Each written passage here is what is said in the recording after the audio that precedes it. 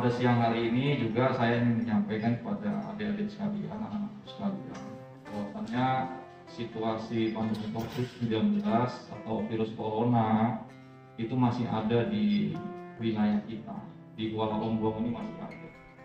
Jadi anak-anakku walaupun sudah divaksin, ini tetap harus menjalankan protokol kesehatan secara ketat. Apalagi pondok pesantren ini kali ini sudah menerapkan uh, pertemuan tatap muka ya Pak ya, pembelajaran tatap muka.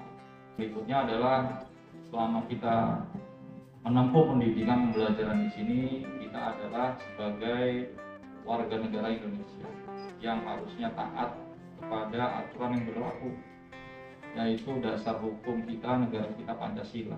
Jadi jangan sampai pembelajaran nanti adik-adik ketemu teman-teman yang lain ya Pak itu melenceng itu jangan sampai stop ada di beberapa daerah bahkan saya pernah dengar di tempat-tempat tertentu itu tidak mau menaikkan bendera merah putih. Padahal kita lahir ya lahir besar di negara di negara Indonesia benderanya merah putih. Ya sudah seharusnya kita menaikkan bendera kita hormat bendera. Dan yang terakhir adik-adik sekalian tetap jaga kondisi tubuh, kesehatan, silaturahmi yang baik ya.